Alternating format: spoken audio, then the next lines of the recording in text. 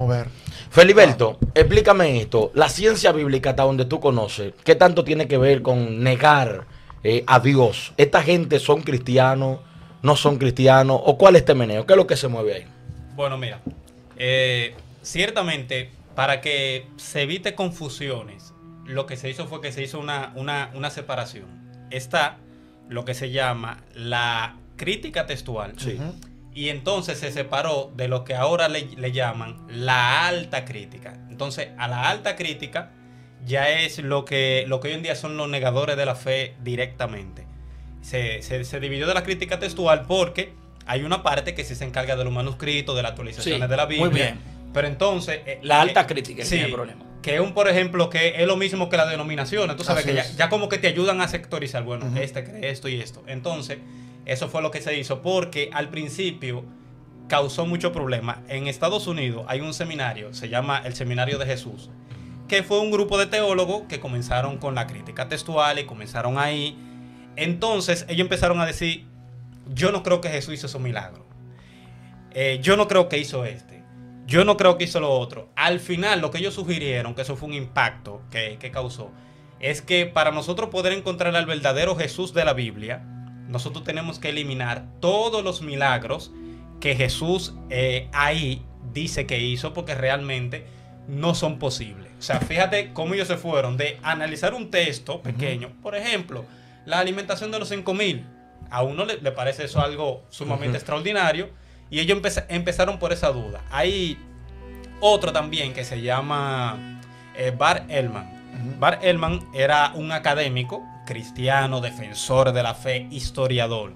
Él comenzó, él comenzó con la crítica textual y la crítica y la crítica y la crítica y la crítica. Hoy en día es agnóstico. Wow. ¿Por qué? Porque tú, mira, eh, ustedes dos, por eso no había hablado, porque ambos, las cosas que dijeron fue correcta. Uno tiene que tener una zapata primero para estudiar. Así es. Hoy en día, por ejemplo, eh, muchas veces la gente me ve hablando cosas de ciencia y hablando esto y lo otro y piensan que eso fue de golpe. No, señores, cuando yo me convertí, claro, pero cuando yo me convertí, eh, bueno, cuando el Señor me llamó al camino, yo duré un año en mi casa que yo no salía para ningún lado, estudiando la Biblia, solamente la Biblia, no, no de que si- sin, sin, sin comentarios, sin nada, no. muy déjame- buen punto que diga eso, muy Sí. bueno. Déjame estudiar yo primero, déjame, déjame leer. Claro. Y luego ya cuando yo quería profundizar un poquito más, pues bueno, yo me fui ayudando. El primero que llegaba a, lo- a, la, a la clase bíblica, por ejemplo, era yo. Así es. ¿Me entiendes? Donde sea que, que, que, que había, que, había, que, eh, que había una actividad en mi iglesia, yo iba. Yo hice un fundamento. Luego de ahí ya yo comencé entonces a hablar con mis amigos, pues yo tengo amigos que son ateos hoy en día. Yo comencé a hablar con otra persona y luego fue que ya yo comencé, por ejemplo, eh, a, a hablar, por ejemplo, ya del conocimiento más secular, por ejemplo, eh, científico y demás. ¿Por qué?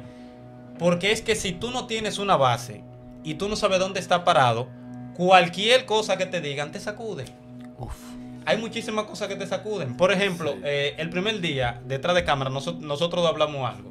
Por ejemplo, no hay forma posible, sin la intervención de Dios, de que en el arca pudieran sobrevivir los animales y el hombre. Exactamente. Hay una ventana. Y estaba calafateado con brea. Ahí no entraba un chin de aire. Ujú. Solamente por esa ventana.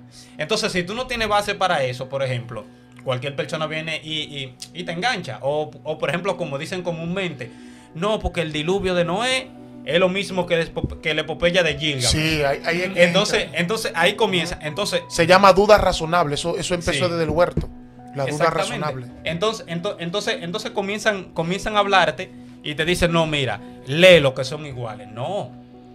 Cuando tú lo lees, tú te das cuenta Son diferentes. que son totalmente distintos. Claro e incluso la teología hebrea chocó con todas las otras cosmovisiones, era porque era distinta. Así es. Porque las otras tenían un Dios para cada cosa y un Dios que era inmoral y que había que sacrificarle hijos y sin embargo la, la hebrea, no, la hebrea al contrario. Señores, las otras eh, cosmovisiones de aquel tiempo te decían a ti que, eh, que el universo, por ejemplo, existía con los dioses y los hebreos vinieron a decirte que no, que él fue el que hizo todas las Así cosas. es. Sí. ¿Me entiendes? Entonces es eso, primero se hace una base Sí. y luego entonces que tú te haces esa base, tú vas, eh, ojo, sin salirte de lo que tú creíste, de lo- del fundamento, porque hay cosas que sí yo he cambiado, que sí entiendo que ya no son correctas, que yo la creé un tiempo, pero uno tiene que saber qué sí es esencial y qué otra cosa uno la puede negociar con cualquier otro. Eso es para así. evitar errores. Hay, hay-